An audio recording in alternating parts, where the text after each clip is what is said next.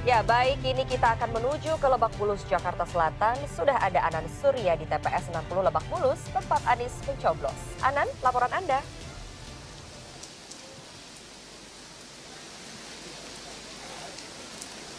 betul sekali, memang seperti inilah suasana di kawasan TPS 60 di kawasan Lebak Bulus, Jakarta Selatan. Memang jika kita melihat ini hujan masih mengguyur cukup deras. Memang hujan sendiri ini sudah mengguyur kawasan DKI Jakarta sejak Rabu dini hari. Namun tentu saja kita semua berharap semoga saja hujan deras ini kemudian tidak menyurutkan semangat masyarakat untuk bisa datang ke TPS dan juga memberikan hak suaranya.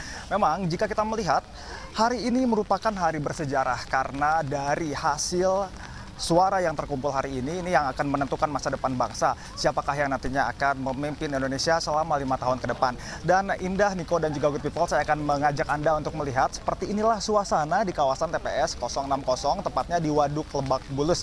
Ini yang nantinya akan menjadi TPS dari calon presiden nomor urut 1, Anies Rashid Baswedan. Memang jika diagendakan pada pukul 7 pagi, ini kemudian masyarakat akan hadir untuk bisa uh, memberikan hak suaranya, namun karena memang hujan hujan cukup deras. Ini memang agak uh, terlambat dari yang telah dijadwalkan sebelumnya. Dan tepat pada pukul 7 ini uh, sejumlah petugas dari KPPS baru saja datang untuk kemudian melengkapi sarana dan juga prasarana yang diperlukan untuk nantinya uh, akan digunakan oleh warga untuk uh, memberikan hak pilihnya. Dan uh, memang di kawasan ini sendiri paling tidak sudah terdapat 222 DPT yang nantinya akan memberikan hak pilih dari pukul 7 pagi hingga pukul 1 siang nanti. Memang untuk calon presiden nomor urut 1 Anies Rashid Baswedan sendiri ini kemudian telah memulai aktivitasnya sejak subuh tadi. Memang sejak subuh tadi kemudian Anies Rashid Baswedan ini telah menunaikan uh, sholat subuh berjamaah bersama keluarga besarnya. Di antaranya ada putra-putrinya, kemudian juga istrinya dan juga ada ibunya.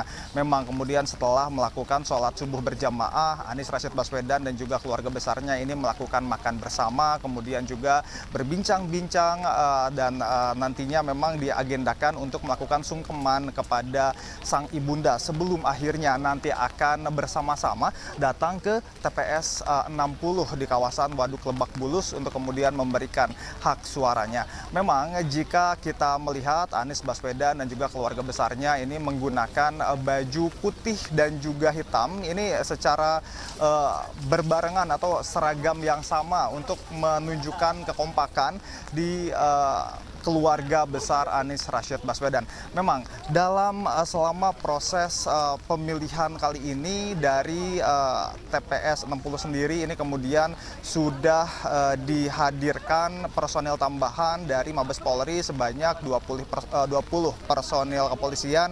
Kemudian juga ada juga personil lain dari Polsek Cilandak yang kemudian juga dihadirkan untuk menjaga keamanan selama proses pemungutan suara ini berlangsung.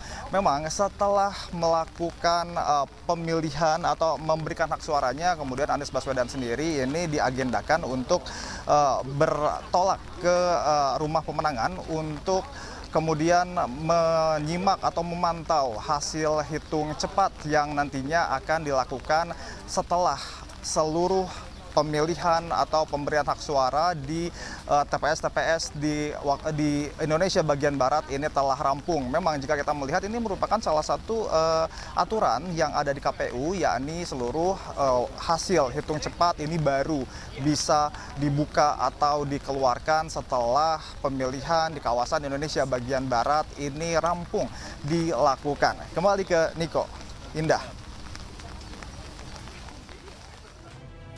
Baik, Anan Surya dari TPS 60 Lebak Bulus, Jakarta Selatan. Kita beralih ke fakta.